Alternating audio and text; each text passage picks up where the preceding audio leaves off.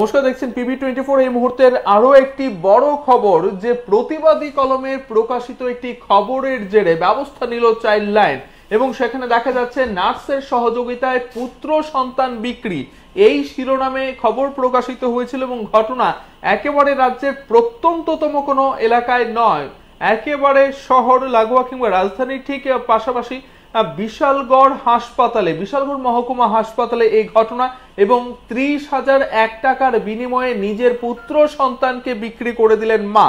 এবং এই অভিযোগ বা এই খবর প্রকাশিত হওয়ার পরপরই নড়ে চড়ে বসে প্রশাসন এবং চাইল্ড লাইন কর্তৃপক্ষ সে মায়ের কাছে যান এবং মায়ের সঙ্গে কথা বলেন এবং তারপর সেই অভিযুক্ত নার্স যার সহযোগিতায় বা যার জন্য বিক্রি করা হয়েছে বা যা নির্দেশে বিক্রি করে দিতে সক্ষম হয়েছিল। মা তার পুত্র সন্তানকে সেই নার্সকে জিজ্ঞাসাবাদ করে এবং আটক করা হয়। সেই নার্সকে তার মাকে আটক করা হয়েছে। অর্থাৎ যে মা তার নিজের পুত্র সন্তানকে বিক্রি করে দিয়েছেন ত্রিশ হাজার এক টাকার বিনিময়ে তাকে আটক করা হয়েছে এবং শিশুটি কোথায় পাঠানো হয়েছিল বা কোথায় বিক্রি করা হয়েছিল সেখান থেকে শিশুটিকে উদ্ধার করে আনা হয়েছে চাইল্ড লাইনের তরফ থেকে।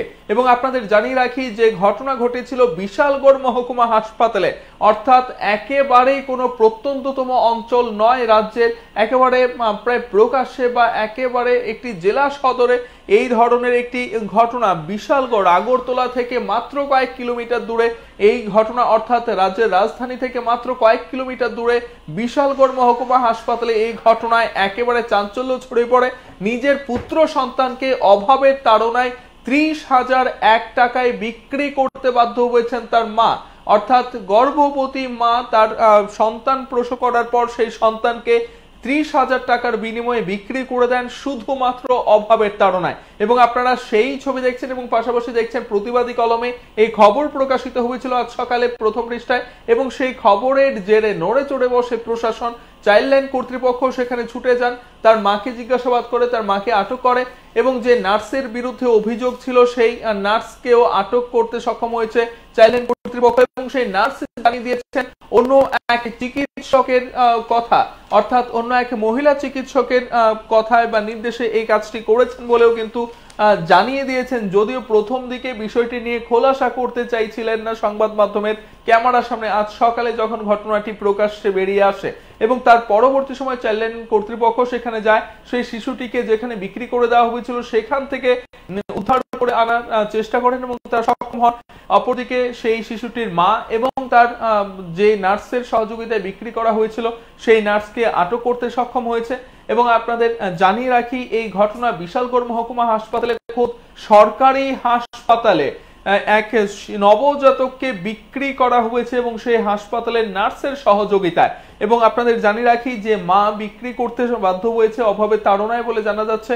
এবং সেখানে এর আগে চারজন সন্তান, অর্থাৎ সেখানে চার সন্তান আগেই ছিল সে মায়ের এবং পঞ্চম সন্তানের জন্মের পর সে মা একেবারে দুশ্চিন্তায় পড়ে যান। কীভাবে তাদেরকে পালন করবেন, বড় করবেন পড়ানো, খাওয়ানো এই বিষয়গুলো নিয়ে দুশ্চিন্তা প্রকাশ করেন সেই নার্সের সামনে এবং সেই নার্স তখন তাকে বুদ্ধি দেয় যে তাকে যেন বিক্রি করে দেয় এবং সেই জায়গায় আর্থিক যে অনটন কিছুটা লাঘব হবে এবং তার পাশাপাশি বাচ্চা বা সেই সন্তানকে বড় করে তোলার কোথাও কোনো মাথা ব্যথা থাকবে না।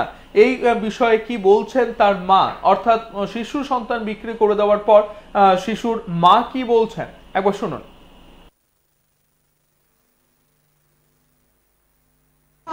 না খাওয়া থাকতাম না এলাকা বিক্রি করছি না তারা নিচে তারা খাবে কে নিছে? তার টাইমে বাড়ি হয়েছে তাই নাকি এই হসপিটালে কর্মরত? হসপিটালে ইয়া নাম কি এমন কিছু জানেন? না কি কি কইছে আপনারে? আমার কইছে, কমাইও তোর তো চারটে পাঁচটা আবদ্ধ আছে তুই হবি নিয়া দিয়ালা আমরা ফাইলা, বড় তারপরে বড় তুই নিস কে কইছে কথাটা? এই হসপিটালের নার্স হ্যাঁ এটা কি কোন হসপিটাল এটা? কবে হয়েছিল মানে ডেলিভারি কবে হয়েছিল বুধবারে। বাচ্চা আপনার কত টাকা দিছে? আমার শাশুড়ি কত টাকা? আচ্ছা হাজার টাকা দিচ্ছে তারা আমার শাশুড়ি সাতজন লেগে আচ্ছা আচ্ছা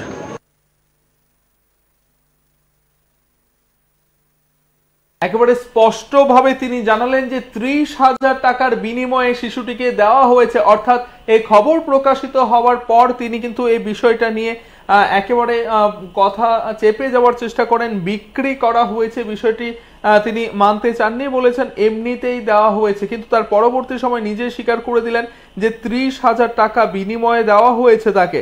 এবং যা থেকে একেবারে স্পষ্ট যে অভাবে তাড়নায় শিশু বিক্রি করা হয়েছে এবং তার উল্টো দিকে বলা হচ্ছে সেই নার্সের কথা যে নার্স বলছেন যে এর আগেই চারজন সন্তান রয়েছে, তার মধ্যে পঞ্চম সন্তানকে কি করে লালন পালন করা হবে? এর বিনিময়ে এর চেয়ে ভালো যে বিক্রি করে দিলে সেই সন্তানটি অন্য কোথাও ভালোভাবে মানুষ হতে পারবে।